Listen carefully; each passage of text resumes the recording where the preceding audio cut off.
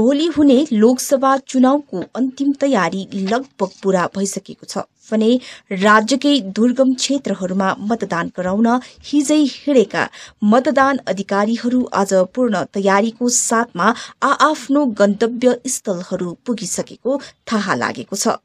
यसै क्रममा जिल्लाकै सुदूरवर्ती बुथहरू तेइस अब्लिक शून्य एक सिरिखोला प्राथमिक विद्यालय तेइस अब्लिक शून्य दुई डाँडागाउँ निम्न माध्यमिक विद्यालय तेइस अब्लिक शून्य तीन रमाम प्राथमिक विद्यालयमा मतदान गराउन मतदान अधिकारीहरू पुगिसकेको बताएको छ।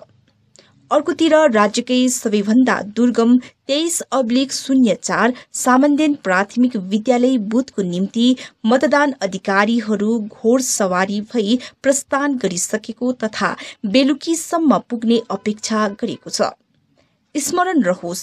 राज्यकै दुर्गम मतदान केन्द्रहरू बुथ संख्या एकदेखि चारसम्मको केन्द्रहरूमा मतदान गराउन हिजै दार्जीलिङबाट प्रस्थान गरिसकेका थिए भने उनीहरू हिज रात्रिवास सिरिखोलामा गरी आज फोर व्हील वाहनको माध्यमबाट बुथ संख्या एक दुई तथा तीन मतदान केन्द्रमा पुगेको भए पनि बुथ संख्या चारको निम्ति वाहन छोडी लगभग दस किलोमिटर पैदल मार्ग भएर पुग्न पर्ने बाध्यता हालसम्म रहेको छ।